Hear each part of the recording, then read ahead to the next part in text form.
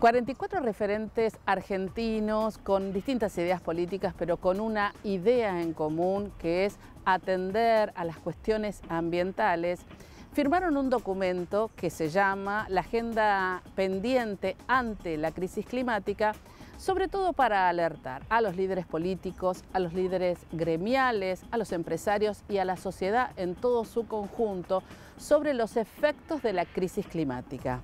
Hoy en Ambiente y Medio conversamos con el mentor de este documento. No se vayan. Es biólogo, político ambiental y consultor. Fue director de la Fundación Vida Silvestre Argentina, presidente de la Agencia de Protección Ambiental del Gobierno de la Ciudad de Buenos Aires y secretario de Medio Ambiente del municipio de Pilar. Moderador de audiencias públicas de importancia nacional. Hoy conversa con nosotros Javier Corcuera.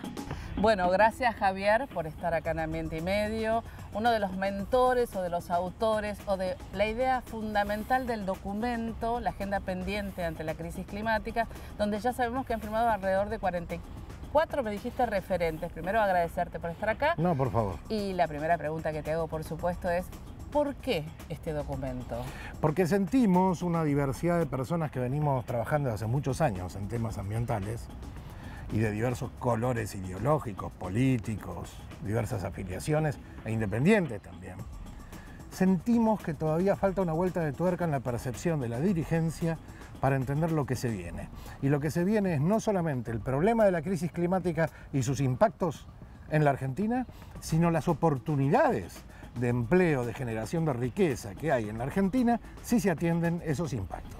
Me da la idea, un poco lo hablamos off, digamos afuera de la Cámara, me da la idea que es transversal a todos los dirigentes políticos, nivel nacional, provincial, intendentes, como que los problemas que tenemos en la Argentina son tan severos que dejamos esto como, bueno, para más adelante, pero es un problema de hoy también. Sí, aunque esos diferentes niveles de jurisdicciones suelen asumir con diferente seriedad algunos problemas. Te voy a dar un ejemplo, Gaby. Eh, áreas protegidas. Sí. Nuestros parques nacionales tienen relativamente una buena historia. Se habla bien de ellos en el mundo. ¿Por qué? Porque tenemos un buen sistema de guardaparques, porque es muy comprometido ese grupo de gente, porque tenemos una cobertura más o menos buena de algunas ecorregiones, no de todas, pero nuestros parques nacionales, si los comparás con los parques provinciales, son París. Y a un parque provincial, si lo comparás con un parque municipal, es Nueva York. ¿Qué te quiero decir? Los municipios tienen menos recursos, suelen tener muy poca capacidad para poner gente a cuidar en serio sus áreas protegidas municipales. Entonces, los mayores desastres con la naturaleza no los vas a ver en un parque nacional, sino en un parque municipal, probablemente, como ocurre hoy, no sé, con la Laguna de Rocha o en un parque provincial. Tenés esos diferentes niveles de jurisdicciones que están en capacidad menor, a medida que baja el nivel de jurisdicción, de asumir la responsabilidad de mantener, en este caso, por ejemplo, un área protegida. En la discusión del texto, que lo discutimos entre los 44 firmantes, estaba está, por ejemplo, eh, Fernando Ardura, que fue vicepresidente de Parques Nacionales eh, en un gobierno justicialista. Y Fernando mm, enfatizó, decía, Javier, tenemos que pedir que haya una vuelta de tuerca al sistema federal de áreas protegidas, porque no puede ser que dejemos tan colgado de la galleta a los parques provinciales y los parques municipales. Tenemos que trabajar el problema de la ley de bosques y su mejor implementación, que venimos con una gran deuda en eso, el problema del avance de la frontera agropecuaria y el cuidado de las áreas protegidas y, y de las áreas buffer, y tenemos que trabajar el rol de las áreas protegidas municipales y provinciales en ese aspecto y que empiecen a recibir recursos y conocimiento técnico. Hablas de ley de bosques, la futura, ojalá, ley de humedales, que está costando tanto, ¿no? Em, ¿Qué es lo que ustedes en este, en este documento proponen de alguna manera? Decimos algo incómodo. Incómodo incluso para muchos de nuestros amigos y amigas del ambientalismo. No estamos diciendo en este documento ley de humedales ya. Eh, por el contrario, lo que estamos diciendo es si hasta ahora ha quedado solamente el eslogan, ley de humedales ya, ¿qué hay abajo? ¿Por qué no sale aprobada esta ley de humedales? Y en el documento lo que decimos es, no sale aprobada porque las provincias mineras se oponen y porque las provincias con muchos humedales, como Entre Ríos, Corrientes, también se oponen. Lógicamente, cuando vas a hablar con un gobernador, el gobernador te dice, ¿Querés poner un área protegida en el 80% de mi provincia? ¿Estás loco? Entonces, hay una diferente discusión, hay un debate distinto que plantear con esas provincias para después hacer viable una ley de humedales. Usar el eslogan ley de humedales ya en la humilde percepción de los 44 firmantes no va a llevar a ningún buen puerto por ahora. Y ahí estás hablando de las ONGs que en muchos casos podríamos o podría parecer que es más idealista la propuesta o que es no desarrollo sí ambiente, lo cual en mi manera de pensar y de ver es, es imposible, ¿no? Quizás hay que conservar, preservar, pero también desarrollar. ¿Cómo es este trabajo? Vos has estado eh, en función pública con este idealismo de las ONG. Quizás eh, algunos se enoja, pero a veces son como eh, demasiado idealistas.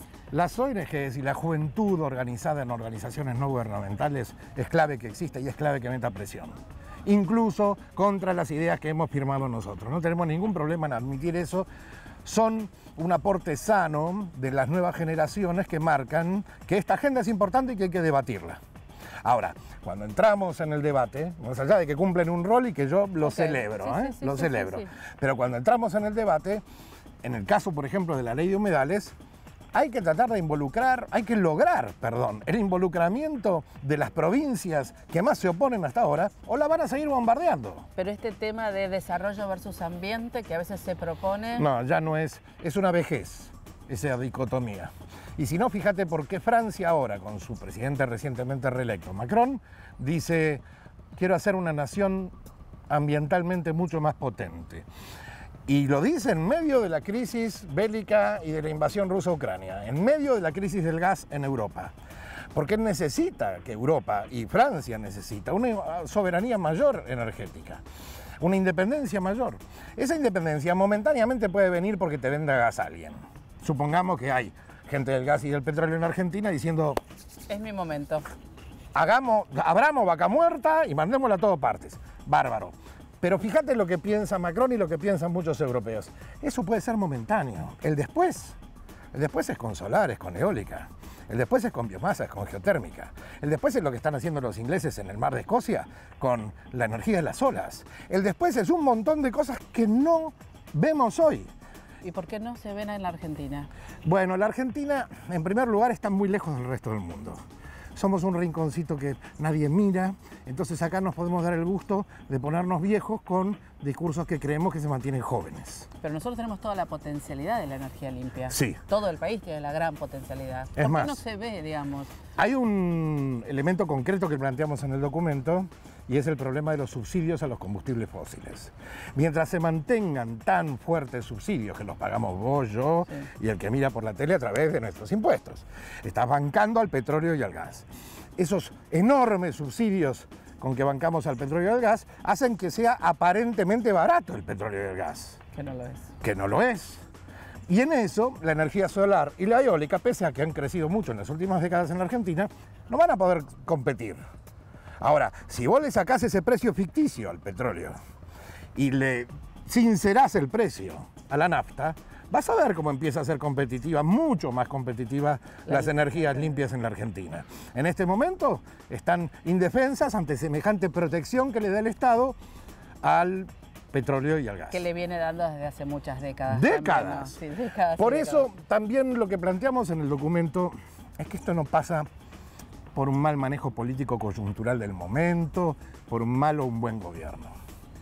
Quienes firmamos, que pertenecemos, insisto, a todo el espectro político e ideológico, estamos diciéndole a la dirigencia política, en vez de profundizar la grieta en este tema, miren los nuevos negocios que se vienen, miren los millones de empleos y miren quién lo dice. Porque si dijéramos, bueno, Greenpeace dice que va a haber más empleos en el futuro, es una cosa.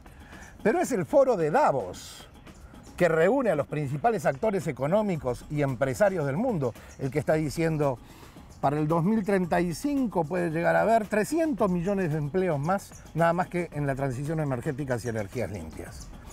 Es la Cámara de Reciclado del Plástico en la Argentina la que dice, si hoy recicláramos más, tengo una capacidad ociosa de 60%, dice la Cámara. Es decir, que ya tenemos la máquina y todo listo, pero no estamos recibiendo plástico suficiente para reciclar y seguimos tirando un montón de plástico al, al relleno sanitario, generaríamos tantos miles de empleo más. Hay, hoy en día hay una, hay una discusión que hay que instalar entre ambiente, cuidado ambiental, generador de empleos.